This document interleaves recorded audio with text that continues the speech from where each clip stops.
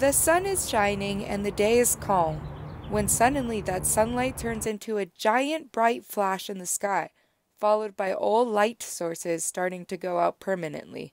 An electromagnetic pulse, or EMP, is a burst of electromagnetic energy that can be produced by man or nature.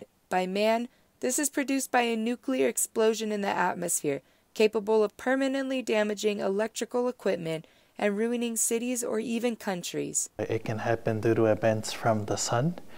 Uh, sometimes uh, the sun can uh, eject plasma towards us, and that really disrupts uh, the magnetic field of uh, the Earth, and that can create a really big electric pulse, or they can happen due to events here on the Earth. Uh, for example, due to nuclear bombs. With scientists not being the only to know how to create the cause and effect of an EMP, it has been known for decades as a tool that can be used against us in war. Since the first uh, nuclear test in the 1940s, scientists did detect electromagnetic pulses and uh, the electric equipment near the test was disrupted.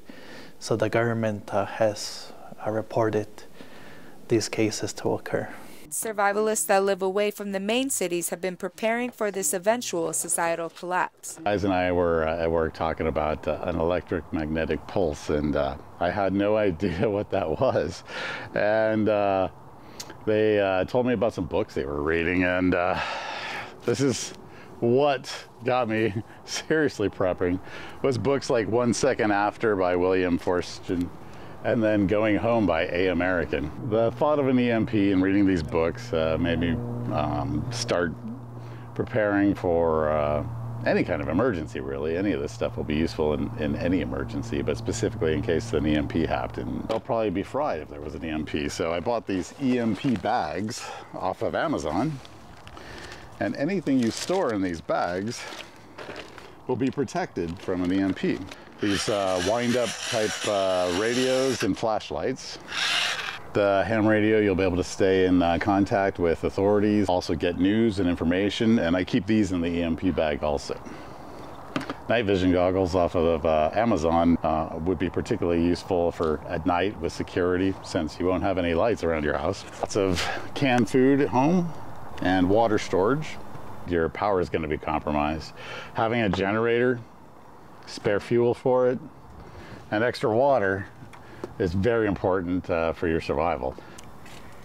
After learning about an EMP, I felt like it was necessary to take advantage in my own hands and get my Jeep set. So, I got my very own survival kit prepped with emergency drinking water, a first aid kit filled with a whole bunch of gadgets to help not just me, but the people around me in case of an emergency. And a portable first aid kit so that I can go on the go with safety.